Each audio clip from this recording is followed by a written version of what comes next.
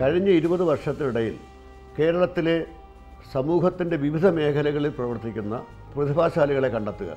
അവർ ഓരോ മേഖലയിലും ഓരോ വ്യക്തിക്ക് കീർത്തിമുദ്ര സമ്മാനിക്കുക. ഇതിൽ സംഗീതത്തിന് ആർക്കാണ് പുരസ്കാരം ആർക്കാണ് കീർത്തിമുദ്ര ലഭിക്കാൻ പോകുന്നത് എന്ന് തീരുമാനിക്കുന്ന സമിതിയിൽ ഞാനും അംഗമാണ്. പക്ഷെ തീർച്ചയായും അവസാന തീരുമാനം ജനങ്ങളുടേതായിരിക്കും.